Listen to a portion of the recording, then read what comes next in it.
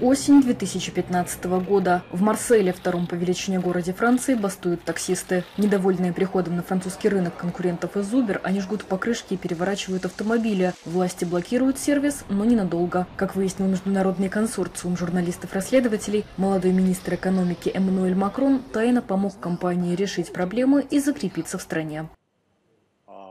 Эммануэль Макрон, конечно, выделяется. Джо Байден и около десятка бывших сотрудников администрации Обамы, среди которых есть и довольно высокопоставленные, с распростертыми объятиями приняли модель Убера, которая по определению означает отказ от защиты труда и трудовых прав. Это поразительно.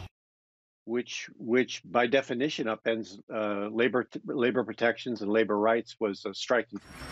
По данным расследования, в ходе которого журналисты изучили десятки тысяч внутренних документов компании, тайно лоббировала свои интересы на высшем уровне и считала насилие в отношении своих водителей, цитата, бесплатной рекламой в местных СМИ.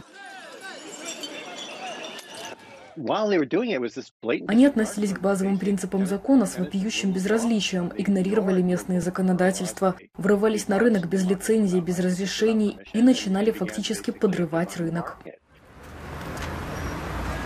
В расследовании фигурируют не только западные политики.